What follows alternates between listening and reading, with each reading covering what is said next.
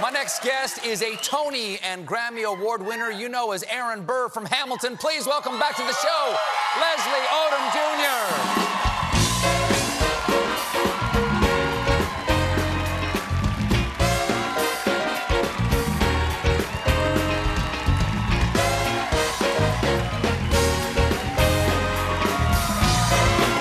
Office turtleneck. I say, I'm sorry, what was Sir. That? I'm wearing the author's turtleneck. You do. You're, you're, you're here for a book that you've got, and That's you right. do. You, you are you are dressing the part right now, the Thank you. turtleneck, and but you've also you've jacked up a bit. You look a little bigger than the last time I saw you. Oh, yeah. They, they painted that suit on you. Yeah. Why Yeah, are you no. so much bigger? I, I well, uh, uh, I put on like 30 pounds with my wife. You know that, that sympathy weight thing. Oh, because Um, you just had the you just had the baby. What's your what's your baby's name? Lucille. Little There's Lucille right there. That's wonderful. See, I've tried to, I've tried my best to turn, you know, to turn the the, fla- the flab into muscle over, Well, over it the looks, last it couple looks months. good. Thank Looks you, brother. good. Thank Looks you. good, man. Thank you. I'm sorry. I don't mean And, to be, uh, I don't mean to be too familiar. Oh no, no, but, it's good. uh, um, and uh, you know, the book came out today, so uh, with when the book, my, my publisher told me when the book was released, you get the author's turtleneck. So Oh, officially, yeah, Yeah. officially. We also got you. We also got you. We got you a pipe to Oh. go with it. A pipe. There you go. Uh,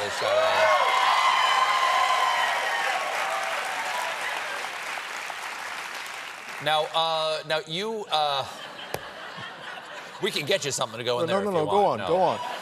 Now, uh, the uh, uh, the last time you were here, you showed a little a video of you and your wife singing. She also has a beautiful singing voice. Yes, she does. And do you know? So, do you sing to little Lucy every night? Like, do you sing lullabies, or is every night is it just Nationwide is on? your side"?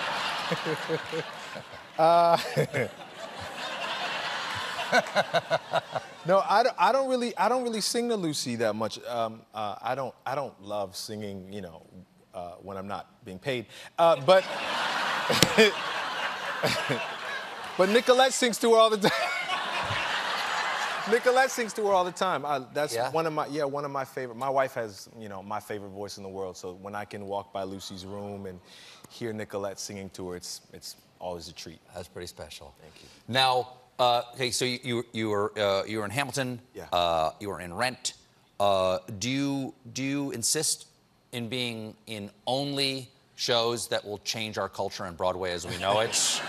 Because I'd love to know whatever your next project is, so I can try to get tickets now while they're still Yeah. available. what what is what is the next thing you're performing? Yes, um, I, I do. Yeah, I only do cultural phenomenons. It's just that they're they're 15 or 20 years apart. So I'll let. I you know. Yeah, I'll let you know in you know 12 or so years. You know. How much how much it. time there was uh, was there for you between Rent and Hamilton? I, I mean, I was 17 when I did Rent, and I was a little older than that when I did Hamilton. Five or six years older. Five or six Ham- years older than that? They're- They don't come around often. No. You know, as you, yeah, the, I mean, th- those big sort of landmark shows, they don't come around often. I've had the incredible fortune, you know, the, the of my life. It's been just really the gift of my life to be a part of um, the two of them. If, if it never happens again, I, I, I'll be a happy guy. It's, you know, I'm very lucky. Well, I won't. Uh, I want to see you and more. What about? Well, what, what about you know uh, the, the book you've got here? The new book is called "Failing Up," and um, and it's about how to take risks, aim higher, and never stop learning. Now, wait a second. Did you ever stop learning? I mean, were you were you ever tempted to give up? Because I, when I was younger, I, I was sort of attempting to be a classical actor like yourself. At a certain point, I went, nah, I think I'm going to do comedy instead because I wasn't getting hired for that other stuff. Was, was there a moment you went like, I'm just going to stop?